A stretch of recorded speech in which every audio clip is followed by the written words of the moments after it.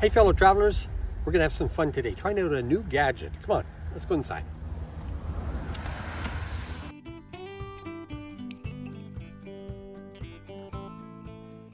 Okay, now that I've got you inside, I bet you're wondering, okay, what's the gadget? Well, the gadget is, it's a dash cam.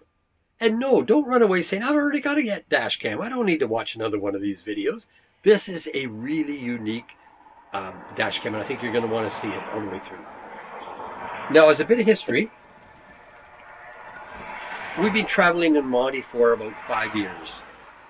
Filming actively for the last couple of years, we've gone through a lot of dash cams. The most recent one is a, it's been a really good dash cam. It's a Campark. It's uh, it's got both the interior cam and the outside cam. We've been having trouble with the mount.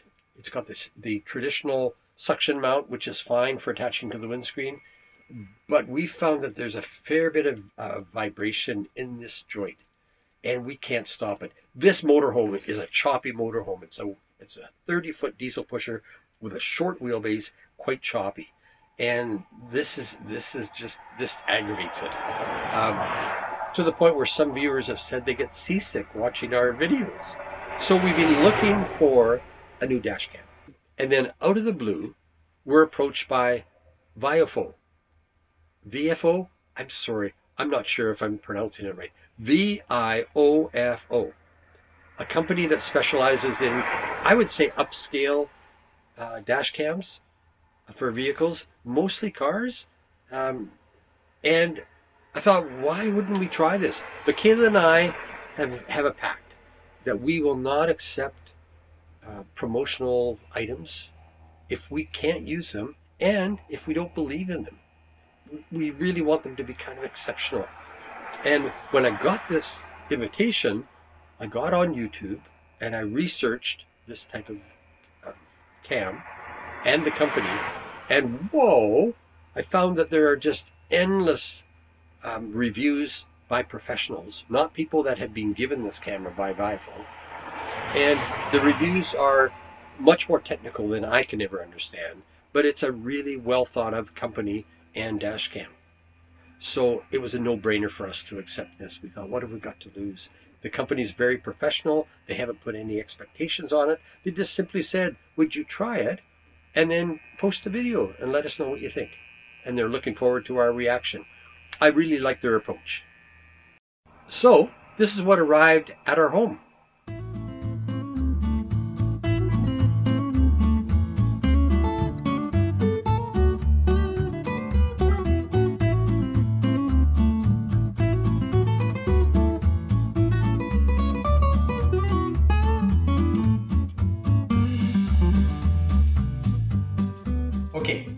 Organized now. So here's a simpler view of everything that was in the package. The SD card, lens filter, Bluetooth remote, manual, hardwire kit to the battery, the dash cam itself, interior camera, the USB cable. This I gather is to tuck your wires away neatly into dash sections um, power cable, main power cable, cigarette lighter, adapter, and we'll figure this one out. That's it. Let's take it to Monty and get this thing installed.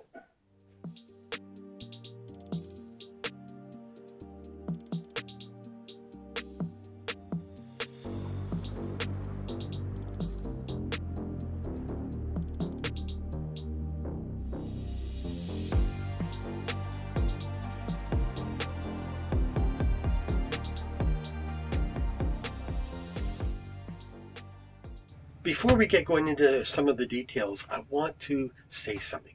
Please, I am not an expert. I am not a techie person. If you want to know the, the fine details of this dash cam, do what I did. I went onto YouTube and found endless numbers of reviews that I mostly didn't understand because they were so technical. But lots of people like that kind of detail. So please go and research it there, and I think you'll find that it's a pretty well thought of, highly regarded dash cam. But for Michaela and I, we're kind of a mom pop operation. We just want to have something that's simple to use, easy to understand. We just want to plug and go. We don't want to know all the details and so on. And I suspect a lot of you are like us in that respect. Basically, we want a dash cam for three main reasons. One is safety and observation, so that when we're on the road driving, it, it does provide some safety in that you can see what's happening in live time if something happened. Does that make sense? What I'm meaning is if there was an accident and you were wanting to prove that you were not in the um, Wrong. wrong. That's Michaela behind the camera telling me what to say. Do you know what I mean though? That if you if you're in an accident and you wanted to prove that, then the dash cam is an excellent way of saying, look at this is what happened. Whoa! Or you may be witness to a terrible accident or something else that you want to show to the police or to somebody else, then it's it's a really useful device. So that's the safety and observation part of it. Um, and secondly, we want a, a good dash cam that shows both interior shots and exterior shots for the purpose of, making our YouTube videos. Um, and and again, we want something simple, but that's really of high quality in terms of sound and image quality. And thirdly, we want something that we can use almost like a security camera when we're boondocking or when we're parking, when shopping, we're leaving our rig alone. We have pets inside. We have a lot of stuff in the bays. And uh, at nighttime, when you're boondocking, let's say you're in Quartzsite, which we go to every year, um, in fairly remote places, uh, it's kind of nice to know what's going out on outside your vehicle at night. And with this, we'll show you later, there's a park mode where you can have basically 24 hour security using this camera. Okay, just a few details here. Again, not going into great detail, but I think just the basics. We're using a two channel unit here with um, two channel meaning one channel is the dash cam looking out where we're going, and the other is the interior uh, camera pointing into the cab. Two channel. You could have three channels. You could have a rear camera on this, and uh, then you have three channels. What I really like is easy removal of the uh, micro SD card, easy to punch out from the side. Uh, it came with a 32 gigabyte. That's not very much. You want more than that. It can take up to 512 gigabytes. To me, that's insane. You don't need anything that much if you're, excuse me, if you're making our uh, traveling YouTube videos or whatever, because that's so much data. That's so much video that you, you'll go nuts trying to sort through that. I like about 128 gigabytes. Um, that's plenty. So I think we'll upgrade to that card. Um, what else to tell you? It looks as though, and we'll know more when we get this home and we play it back, large cavities for speakers and for microphones. So I think it's going I'm hoping that it's really going to pick up the sound really well. Much more so than our older. One. It comes with a polarizing lens that you can't see, but it's on the camera itself. And it, it just acts like Polaroid sunglasses. Just decreases the glare from the windscreen. Um, there's also um, an articulating lens, meaning it just moves up and down. So right now I've got my finger on it. It's facing forward. You can't see it, but you can angle it so that it's pointing down. If you want to look at people's shoes and and little mice going across the road, well there there you go. Or if you want to watch airplanes, you point it up. But it has about five or six settings, which is really really good. The other thing I like about this so far is the flexibility with the um, interior cam. You can see the cable goes up here to the cam, but this can be removed and it can be moved anywhere within the confines of the length of this cable, which is about one meter, about three feet. And that's really helpful because if you want to take that and move it around inside the dash area to get different um, um, scenes, I think it's really a good idea. It's a great feature. Another feature I really like is the ease of, of taking this off the um, the mount. It's effortless, and yet it's on there really securely. This is a GPS mount, and we'll just leave it there on the windscreen. And then you can just put this back up each time you want to uh, activate it again. Just need to get a feel of it. So another really cool feature is it takes voice commands. So you can from the, the from your seat, from the from either seat, you can say things like audio on, audio off, cam on, cam off. Pretty simple stuff, but it's really helpful, I think, while you're driving. Speaking of that, there's a little button here. Don't know if you can see this very clearly. We've attached this to this part of the dash because it's convenient for me to push or Michaela to push. And it's a Bluetooth remote control. And this allows you to control this camera as well. There's a number of different ways you can control it. It's pretty cool. So for instance, if you're traveling down the road and something terrible happens in front of you, and you think, oh my God, I want that footage. I don't want that to be lost. I don't want it to be run over if you're in a loop on the camera. You just push it. And that will freeze that frame in your camera and you won't lose it. You can give that to the police or bring it up later on for insurance company purposes or whatever. There's also buttons on the side, and for instance, one of them will, will adjust the audio, turn the audio on and off. Um, and I'm not too sure about the second one. But anyway, you'll get used to this being a useful Bluetooth device. And you know, I'm realizing that you probably would like to see this thing in full color and whatever, but it's just impossible to do with this camera we we can't show you everything that we're doing here. If I start playing around with these buttons, you're going to fall asleep, leave for the kitchen, or do something because you won't. It'll be useless material. So if you don't mind, I'm not going to go through all the functions. That's something you have to learn when you read the manual, which, by the way, you can read. This manual is very readable. It's in black and white. Sorry, it's in color, and it's it's the English is perfect. They did a really good job putting the manual together. It's a small little booklet. Can I just have it, honey? Thank you. This is the manual. Short and sweet. Everything you, you need to know. Love it. And the last thing I just want to go over with you is I know there's lots of people out there who, who live by their smartphones. There's an app.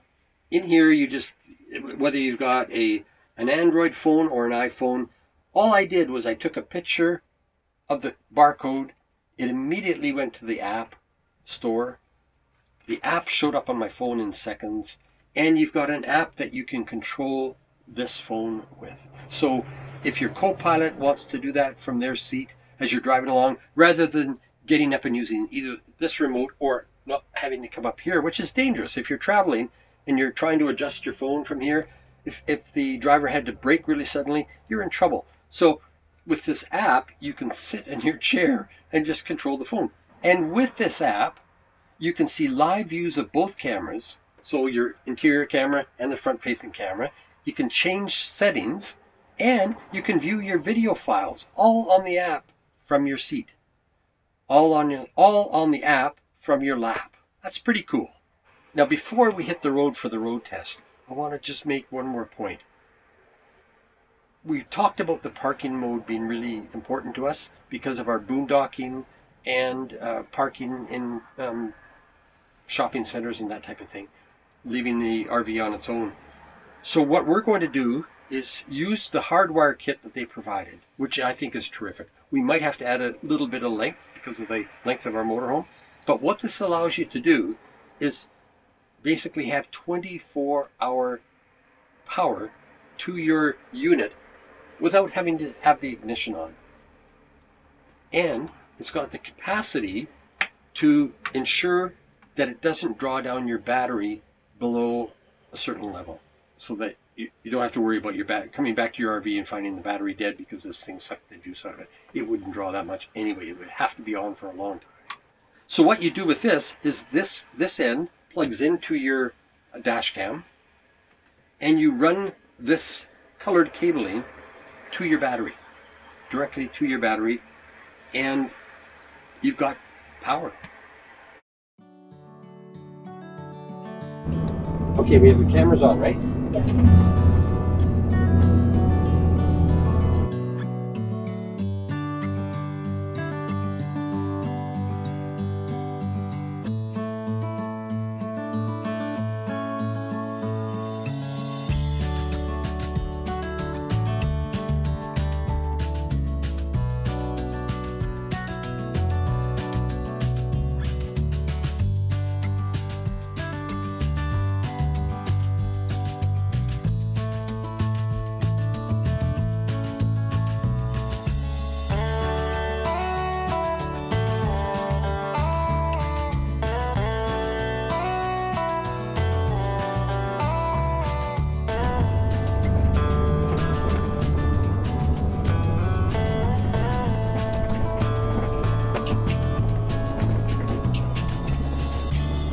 Well, folks, we're almost at the end of our road test. Thanks for coming along.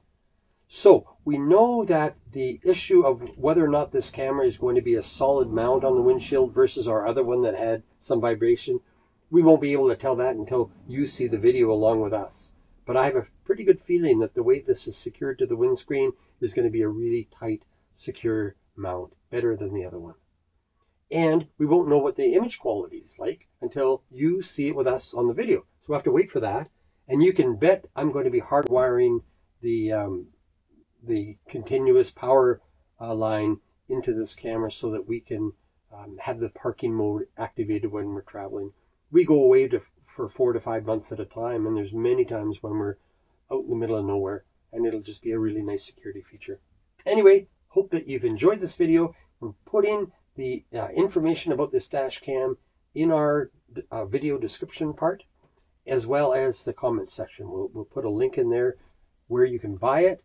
Um, we hope that you enjoyed this. And based on what we've seen um, with I this love unit, it so far. we love it. Yeah. We, we feel good recommending it to you, and we hope that you do. Um, think about it. And whether you buy this one or another one, every RVer needs one of these things. Thanks for watching. We'll see you next week. Okay, that's a wrap.